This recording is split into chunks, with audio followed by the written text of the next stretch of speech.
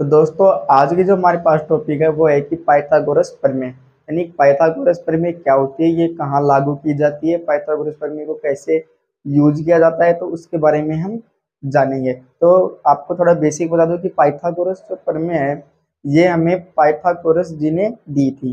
यानी पाइथागोरस जी ने एक प्रमेय दी थी, उसका नाम उन्होंने रखा पाइथागोरस प्रमेय। यह प्रमेय एक संपूर्ण त्रिभुज, यानी कि राइट एंगल ट्राइंगल पर आधारित होती है। राइट एंगल ट्राइंगल पर ही ये पाइथागोरस प्रमेय यूज़ की जाती है। तो चलो अब हम इसके बारे में थोड़ा जान लेते हैं। तो हमारे पास क्या है कि पाइथागोरस प्रमेय पाइथागोरस प्रमेय मैंने आपको बता दिया कि पाइथागोरस जी ने दी थी।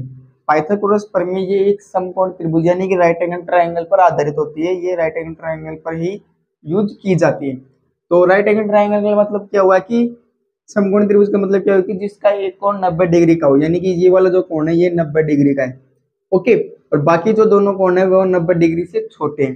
ये भी नब्बे डिग्री से छोटा है, ये भी नब्बे डिग्री से छोटा है। अब जो नब्बे डिग्री के जो जस्ट सामने वाला जो, जस्ट सामने वाली जो पूजा होती है, वो कहलाती है कर्ण ओके, क्या कहलाती है? कर्ण कहलाती है। ओके, यानी कि जो 90 डिग्री जो सामने वाली भुजा होगी, वो कर्ण कहलाती है। और जो नीचे, जो लेटी हुई है, जिस पर ये राइट एंगल ट्राइंगल समकोण त्रिभुज खड़ा है, जिस पर ये ऐसी लेटी हुई है ना, ये वाली जो लेटी हुई है, ये होती है आधार।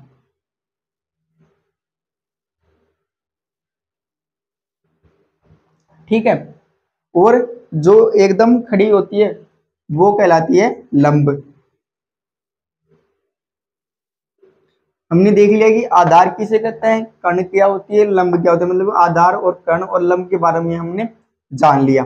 तो जो आधार होती है, वो बेस होता है। ठीक है? जो कर्ण होती है, उसे हाइपोथीनियस बोलते हैं। और जो लंब होती है, उसे परपेंडिकुलर कर्ण को क्या बोलते हैं? हाइपोथीनियस आधार को क्या बोलते हैं? बेस। लंब को क्या बोलते हैं? Perpendicular okay? ये हमारे पास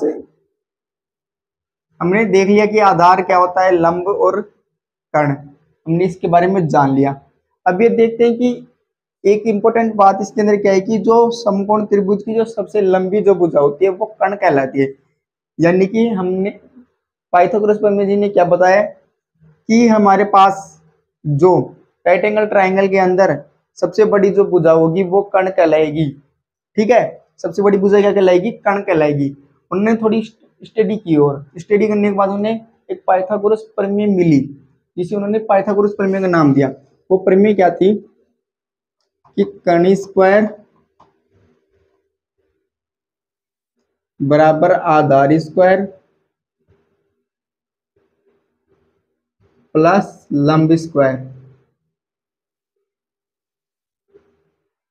ओके? कर्ण स्क्वायर बराबर आधार स्क्वायर प्लस लंबी स्क्वायर। उन्होंने ये एक प्रमेय दी थी कि उन्होंने क्या बताया कि जो आधार और लंब का जो स्क्वायर होगा वो कर्ण स्क्वायर के बराबर होगा। यानी कि उन्होंने ये एक प्रमेय दी। अब इस प्रमेय पर आधारित हम एक क्वेश्चन देख लिया जाए, ओके? एक क्वेश्चन ने, क्वेश्चन क्या है कि समकोण त्रिभुज में कर्ण है जो 10 सेंटीमीटर है तथा लंब है जो 8 सेंटीमीटर है। तो आधार ज्ञात कीजिए। यानी कि हमारे पास पहले, सबसे पहले हम इसके अंदर सोल्व देखते हैं, इसको सोल्व कैसे करते हैं सोल्व करने के लिए सबसे पहले क्या दिया, क्या देखना होगा हमें? दिया है। हमें क्या क्या दिया गया है? जो जो हमें दिया गया है, हमें मतलब क्वेश्चन को एकदम प्रॉपर वे में करना है, जिससे हमें नंबर एकदम पूरी आसानी से मिल सके, ज़्यादा से ज़्यादा। तो सबसे पहले हमें मेंशन करेंगे। क्या मेंशन करेंगे कि हमारे पास क्या दिया गया है? क्वेश्चन में हमें क्या दिया गया है? ओके, क्वेश्चन में क्या दिया गया है कि कर्ण बराबर है, वो है दस सेंटीमीटर। ओके, लंब बराबर आठ सेंटीमीटर। तो हमें आधार ज्ञात करना है। ओके तो सबसे पहले हमें ये तो पता चल गया है कि ये क्वेश्चन है जो एक पाइथागोरस प्रमेय पर है। तो हमें इसके लिए पाइथागोरस प्रमेय किस पर आधारित होते हैं? राइट एंगल ट्रायंगल यानी समकोण त्रिभुज पर आधारित होते हैं। सबसे पहले हमें एक समकोण त्रिभुज बनाना होगा। तो एक समकोण त्रिभुज हम बना लेते हैं ये लो। ओके इसके अंदर 90 डिग्री के सामने वाली भुजा कर्ण होती है। ठीक है? तो हमें कर्ण क्या दे रखा है? 10 सेंटीमीटर दे रखा है। ठीक है? और हमें लंब क्या दे रखा है? आठ सेंटीमीटर दे रखा है। तो हमें आधार ज्ञात करना है। ठीक है? तो पाइथागोरस प्रमेय लगाते हैं हम सबसे पहले। पाइथागोरस प्रमेय क्या है? कि कर्ण स्क्वायर बराबर आधार स्क्वायर प्लस लंब स्क्वायर।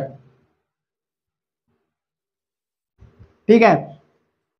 पाइथागोरस प्रमेय क्या है कर्ण स्क्वायर बराबर आधार स्क्वायर प्लस लंब स्क्वायर। कर्ण कितना दे रखा है हमें? दस जिसका स्क्वायर। आधार हमें दे नहीं रखा तो आधार ऐसे कैसे आ जाएगा? लंब कितना दे रखा है? आठ। ठीक है तो आठ का स्क्वायर हो गया। दस का स्क्वायर कितना होता है? सो।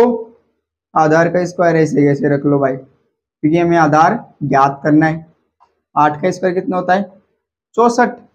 ठीक है, सो बराबर आधार स्क्वायर प्लस चौसठ। अब हम इसे इस तरफ़ सोल्व करते हैं थोड़ा सा। ठीक है, ये चौसठ इस तरफ़ प्लस का है तो इस तरफ़ कितना जाएगा? माइनस हो जाएगा। यानी कि सो माइनस चौसठ बराबर आधार का स्क्वायर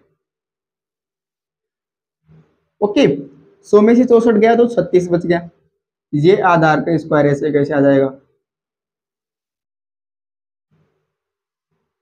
ये स्क्वायर इस तरफ़ आएगा तो रूट का चिन्ह अंडर रूट का चिन्ह ले लेगा। छत्तीस बराबर आधार।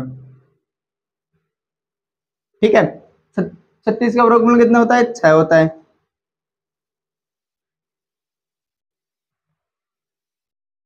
ओके, तुम्हारे पास आधार कितना आ गया? छह आ गया।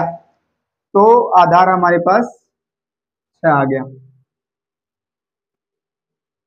तो आई होप कि आपको इसकी क्वेश्चंस करना समझ में आ गए हो किस प्रकार के क्वेश्चंस करना होता है। सबसे पहले हमें ये देख लेना है कि क्या क्या दिया गया है। कर्ण दिया गया, लंब दिया गया था और हमें आधार ज्ञात करना था। तो जो पाइथागोरस प्रमेय क्या होती है, वो होती है कर्ण स्क्वायर बराबर आधार स्क्वायर प्लस लंब स्क्वायर तो हमें क्या क्या दिया गया था, वो हमने इसके अंदर पुट कर दिया. पुट करने के बाद हमने थोड़ा सा सोल्व किया. सोल्व करने के बाद हमारे पास जो चीज़ नहीं दी गई थी, वो हमें प्राप्त हो गई. तो वीडियो कैसे लगी कमेंट बॉक्स में ज़रूर बताना. और ऐसी ही वीडियोज़ के लिए हमारे चैनल को सब्सक्राइब करना. Thank you